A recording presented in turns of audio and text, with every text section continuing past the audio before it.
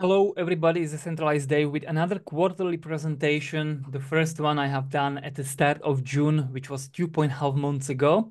But then I have done also one special presentation centered all around the sentiment. I have done that at the start of July, which was one point half months ago. So some months have passed since my first presentation and also one point half months since the second one. So I think the best way how to start this one is to have is to look back at the conclusions from my previous presentations, to reflect on them and to see how they have aged. And there they are. So this is the conclusion from July 2024, um, where I talked uh, basically about that um, all altcoins except Ethereum lost bull market support bands, uh, normally I would be satisfied or I would say or I would call 2 trillion coin market cap sideways at 2 trillion coin market cap, but that would not uh, likely reset meme sentiment. Uh, and that for the memes to be fully erased and reset, we would have to crash unexpectedly uh, up to 1.2 trillion coin market cap, probably after spot ETF approval. Another conclusion from the June 2024, so the older one, there I talked about that the technicals are good, excellent even, but sentiment is greedy with meme season upon us.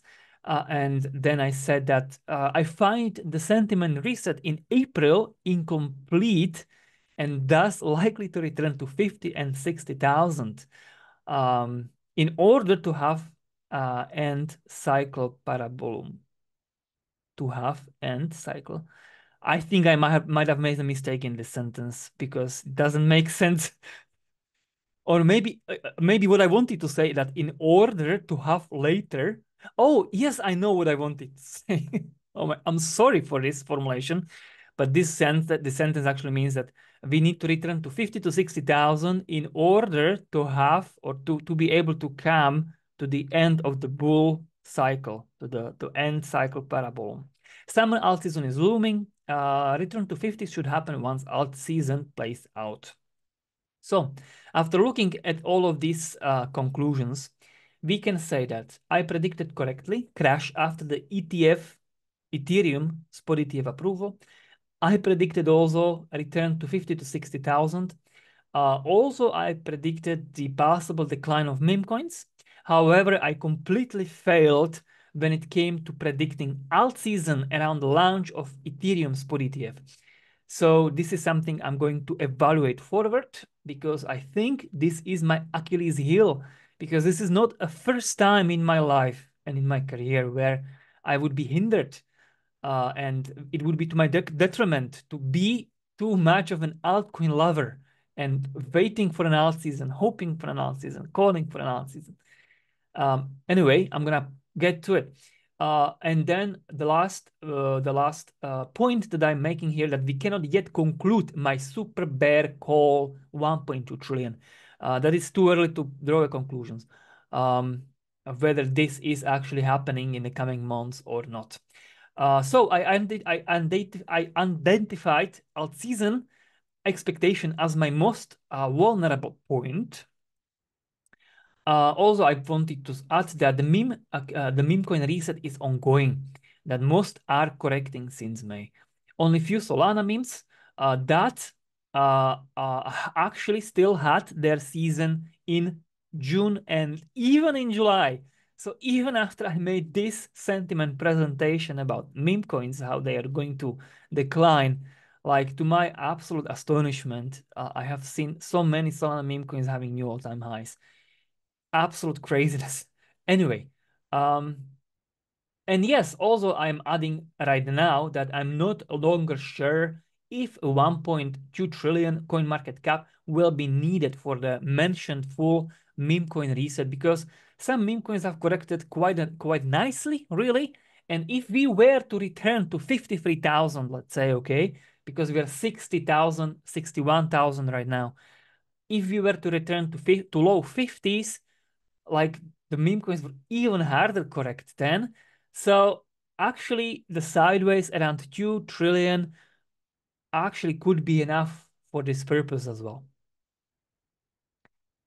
So, and because I have this, uh, I have identified me calling for an alt season this summer to be my biggest mistake and costed me the most. And I have identified to be the my most vulnerable point. I have decided to to devote the whole section in this presentation, couple of slides, just to the altcoins. And I'm calling this section Quo Vadis altcoins. Um, I hope you're going to like it. I have I made sure that I made it lighter. Uh, I have included some good some good altcoin uh, memes, not meme coins, but memes this time. Um, um, this uh, this butcher guy, for instance, he does give me laugh pretty often. Um, but also this picture, for those of you who saw the extremely popular South Korean show Squid Games, you know this this guy, you know this character, and you know what he's doing. So anyway, um, in this section, I'm going to talk about Ethereum-based alt season uh, that we didn't have so far this cycle, whole cycle since 2022, like since the you know since the bottom of the bear, we did not see that. Uh, and so right now it feels like Bitcoin only market from here. And my question is, is it really the case? So let's look for some answers. So this is very interesting. So this is altcoin market cap trend line. Um, so this trend line is where uh, actually the the to the total two uh, index is feeding uh, values into this trend line, and this trend line is calculated by the very classical default logarithmic regression formula. Uh, for those of you who are a little bit in the maths, then you know that this is a normal log regression formula that is used the most, the most often, uh, as far as I know. Um, so, and when you do this, then you are going to discover, have a look at this, have a look, watch this, guys, watch this, watch this picture to the bottom right. This is the altcoins and uh, the logarithmic regression of the altcoins. And by this method that I just showed you, when, when you total two is the, is the feed, then you get that the trend line today is 4 trillion, okay? For the altcoins, the trend line, so the fair value of altcoins should be 4 trillion. And right now, when you look at the index, total two is 900 billion. But that by itself would not be uh, the shocking thing. Watch, watch this.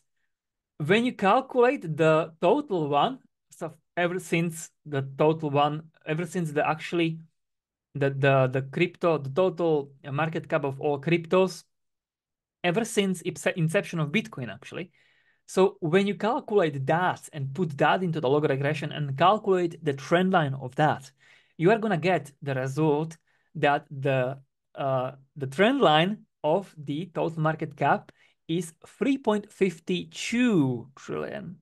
And now just think.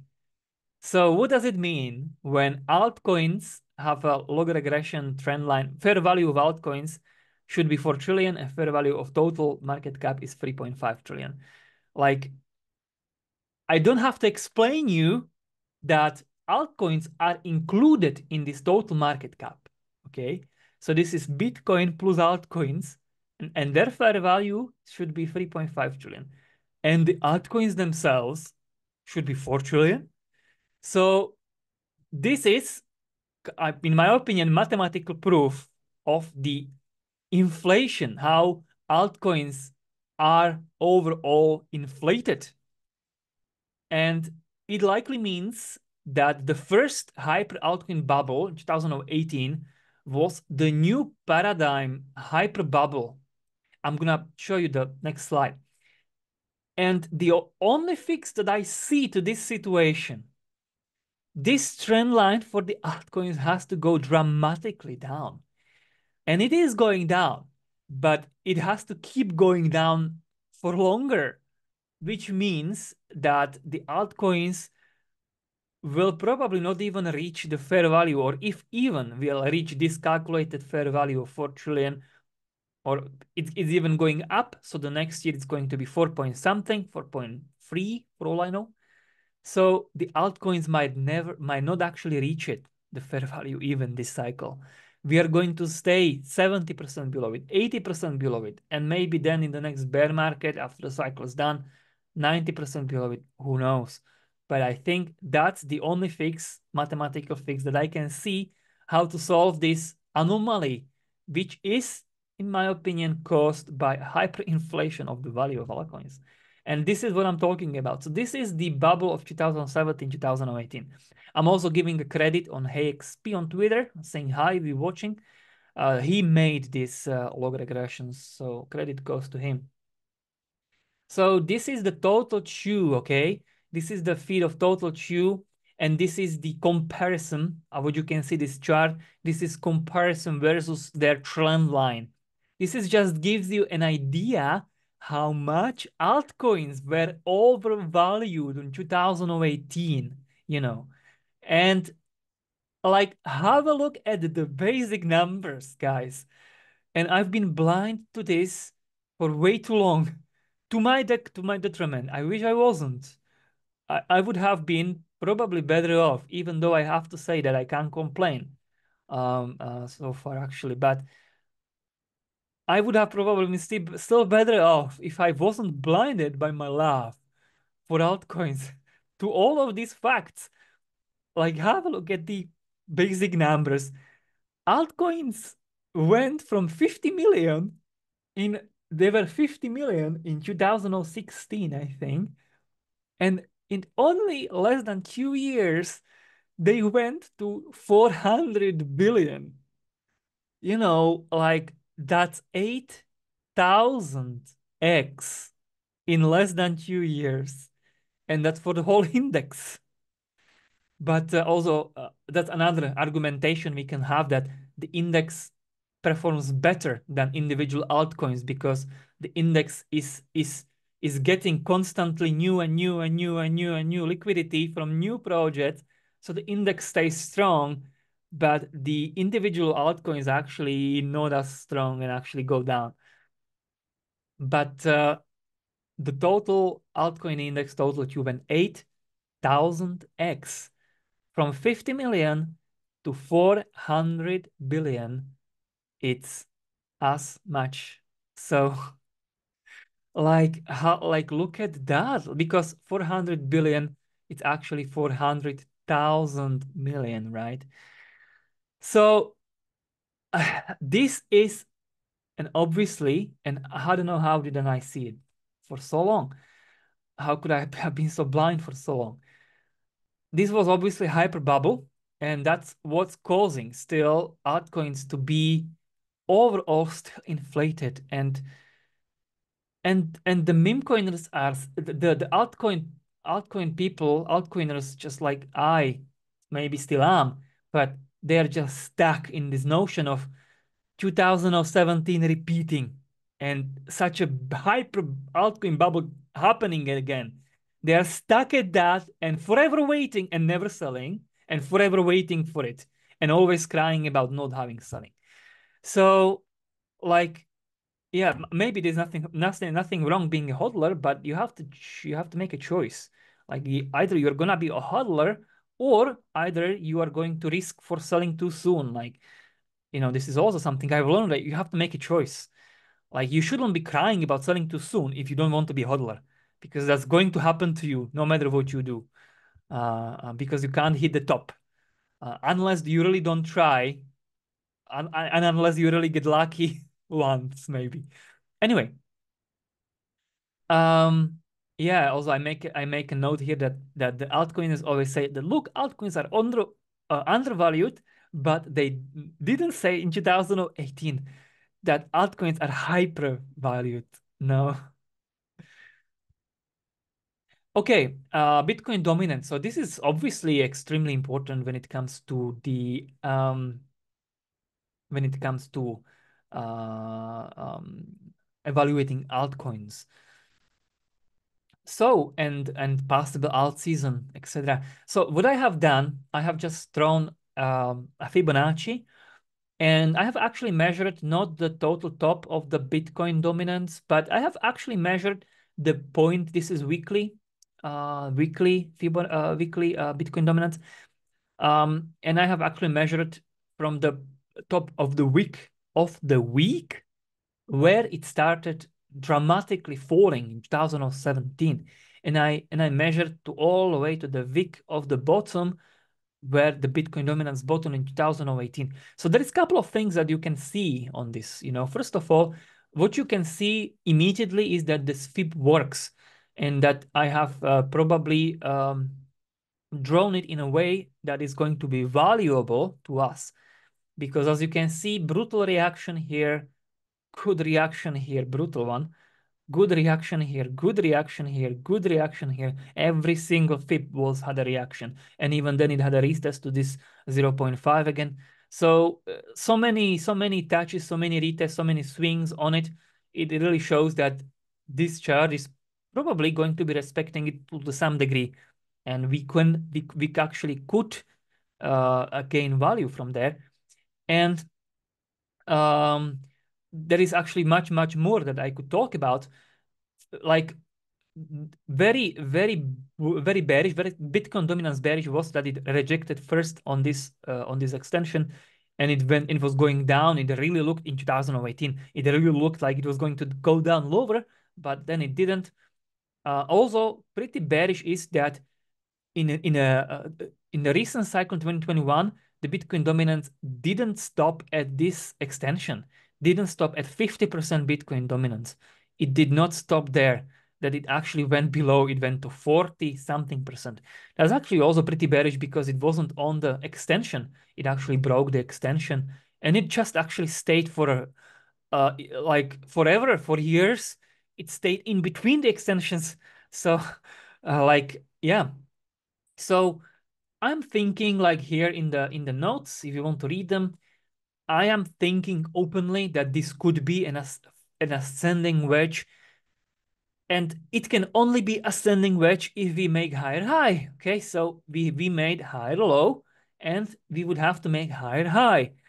And if that was the case, then the obvious target would be this extension, 0.786, which has actually never been yet retested since the dominance bottomed at, at 40, uh, 35%, excuse me. So that would be, and that is brutal target. Like 83%, it's a Bitcoin maxi target, okay? This is what they have been saying. Uh, but also I've learned to, I was forced to respect Bitcoin maxis more as well, uh, because if I had listened to them over the past two years, again, it would have been to my benefit.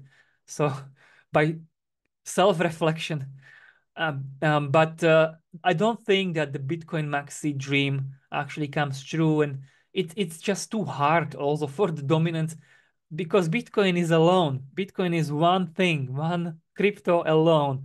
And it's measured against all the million altcoins. I know we have only 10,000 listed on CoinGecko, but most of the small coins are not listed anyway. And some of the big altcoins like, uh, I don't know, Arbitrum and I don't know how many Ethereum layer twos are there. They're coming with hundreds of millions. So instantly new and new altcoins are coming from outside into the crypto and bringing their new cap and and increasing the value the, the cap of all altcoins. So it's just impossible kind of battle for, and it would be yeah uh, 83% is probably just a, bitcoin maxi wet dream. But uh, uh, uh, it's something to at least give it a thought. And i i I actually um, recommend even the altcoin lovers to do that because talking from my own experience, I wish I had done that. And like this ascending wedge, it's not completely crazy idea as well. But also as what you can see, another thing from this chart, this is very clear that you can see. The Bitcoin dominance was extremely volatile in 2017, was dropping through the roof. Then in the following three, three years, it was less volatile, although it was pretty volatile in 2021. And ever since 2021, the volatility is diminishing, where in 2021 and 2022, we still had pretty uh, volatile Bitcoin dominance, but ever since 2023, the Bitcoin dominance volatility is really low. And so also that's that's also why this extension is, I think, uh, just too much because also the volatility should go low, lower, lower, lower, right? like the volatility with the increasing market cap should go lower by logic. And that's why I made this slide for you, which I call Bitcoin dominance arc. And I have noticed that Bitcoin dominance over the past two years, which is a not, which is a reasonably long time, uh, it's moving in kind of an arc, you know. So I have drawn that arc for you here, and um, this would be maybe the the most ideal if the dominant if the volatility doesn't change. If bitcoin dominance all of a sudden because of some i don't know something changes and because of volatility starts breaking up or down. And this this is what i would call the most probable actually scenario at this point. And also after me failing on multiple times calling for the alt season and just being too altcoin friendly so let me get to it, okay? So uh, dominance seems to be making this very slow arc. If true, even year from now, this is this is what I actually I'm showing you that the the the pinnacle, the peak of this arc seems to be in 2025. So even though I know the altcoiners have been always uh, calling for the top of the uh, Bitcoin dominance, but even in a year from now, if I'm right in this arc, even a year from now, Bitcoin dominance will still be a little bit higher than it is today. Not by much, but a little bit, which is still going to be brutal. And which means that every alt season that is going to be in the meanwhile, like I don't deny that there has to come some kind of an Ethereum based alt season at some point. Every single one that is going to happen in the meanwhile is going to be again underwhelming where altcoiners will not sell. Altcoiners, altcoiners will sell will say that no, this is too little. It's gonna it's still undervalued. It's gonna go higher. They will not sell, and and and then the, the Bitcoin dominance comes back to this arc. That's the easy way to put it. But I'm also saying that inevitably dominance is bound to go down because of the weight of new released altcoins, etc., etc. So I think that the Bitcoin will remain king for many more years still. And I'm going to make a conclusion about the altcoins very, very soon. Uh, but before I do, uh, one more important thing is Ethereum versus Bitcoin, Ethereum versus Bitcoin uh, ratio. So this is uh, obviously very important chart for the altcoins because excuse me, because Ethereum being the largest altcoin, kind of like a mother to all altcoins, and so many altcoins that are actually useful, like Uniswap, right? Like Uniswap is uh, is super useful. Like the decentralized exchanges is exactly exactly what we need, but we need them really stable, mature, non-hackable, with limit orders that you that are reliable. We need them better than they are today, and cheap, of course but like there is tons of useful stuff on Ethereum, um, and a lot tons of experimental stuff on Ethereum. Um, so Ethereum versus Bitcoin chart, uh, this blue trend line that I have drawn for you that was actually existing for the past four years, that got broken. That good broken, and it uh, it rejected. Uh, I'm not now sure. This is weekly. I'm not, not I'm not now sure, but this summer, it was this summer, it actually became a resistance and it and it rejected, and now it is bound. I believe it is bound for this red trend line, which is the absolutely oldest Ethereum Bitcoin trend line I could find on the chart. And that chart, as I'm showing you here, in September uh, or, or, like the next month, is going to be at 0.036 or about. So 0.036, I think it's a level where uh, there is a tons of and, and, and very good chance for Ethereum to actually rebound versus Bitcoin. And again, the question then is going to be, it is going to just do a small rebound like it did here at the start of 2024. 20, at the start of 2024, Ethereum rebounds versus versus Bitcoin a little bit. Is it going to do a little, little small bounce and they break that trend line? Or is it going to hold that trend line? And even if it's going to hold that trend line, just look at here in 2019. In 2019, it first touched the trend line, rebounds, and then it touched it again and stayed on it. So it was uh, it was months. It was months where Ethereum was around the trend line. So absolutely no, I don't see any any scenario for super strong rebounds versus Bitcoin from Ethereum. I see the opposite. And that would change if there is a shocking Ethereum narrative. But as I'm going to show you very soon, it's Bitcoin again that seems to have the, the catalyst going for it, and not Ethereum. My best guess, my best bet was that this launch of the spot ETF is going to be the, the catalyst for Ethereum, and it wasn't the case at all. Also, by the way, uh, one more thing that which is also very hopeful for the altcoiners, that if this red trend line is going to hold, then I would even say that Ethereum can go 0.1 versus Bitcoin. Um, and again, it the way how it should happen is that it will first stay for months on the red trend line and only then it will start going first doubtfully in a doubtful way and then fast versus Bitcoin. So again, it, it's I think it's gonna take another year to build a, a really good momentum.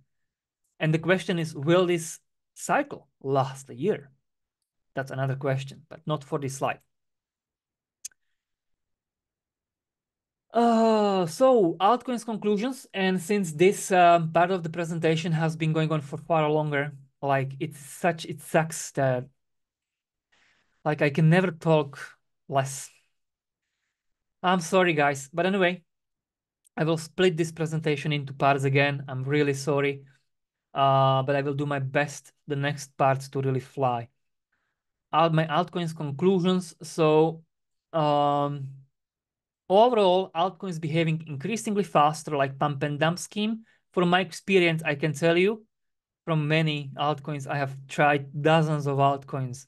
And like my biggest position at the start of the year was LUKSO, which had all the tech and the team stuff going for it. And it actually kind of like rug pulled in the middle of the Bitcoin parabolic movement. So shocking thing. And also the other altcoins, the lifespan of the new altcoins is shorter and shorter and more and more are coming. So like altcoins is getting a really harder and harder and harder to play. More and more altcoins are coming, some with 500 million market cap, and Bitcoin dominance is still not collapsing, even though it's unfair battle. Bitcoin dominance holding strong is actually unbelievable achievement. Uh, 2017-18 was altcoin hyper bubble. There I am reasonably sure with this statement. Uh, technically not yet fully bearish, uh, altcoins versus Bitcoin. Um, and it will be all possible.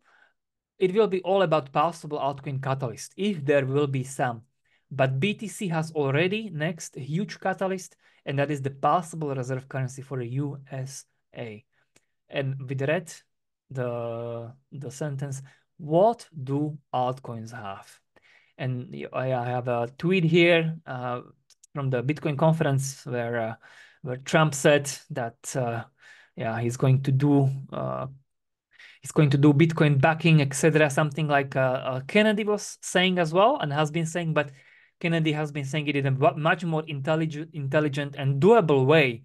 Trump says that just as a promise because of his mouth, just to get the numbers. Anyway, altcoins conclusions. Uh, that's pretty much it. But this picture here as well, just for a demonstration, uh, like this is the new listed Bit uh, Binance altcoins since the start of the year. And minus 74%, minus 65%, minus 69%, minus 56%, minus 75%, minus 17%, minus 81%. I don't have to continue. This is just showing you how much harder the altcoin game is playing. So if you want to continue to play that game or, or go to play that game, uh, keep that in mind. And that concludes the first part of my presentation. That was well, Quo Vadis altcoins. The next part is going to be about crypto markets. And I will do in the, the next part, I will do bullish and bearish at the same time. So I will release it probably very, very soon because some of these arguments that I'm going to show will get outdated very soon, very quickly. So I have to present it. So uh, have a good day. Thank you for watching.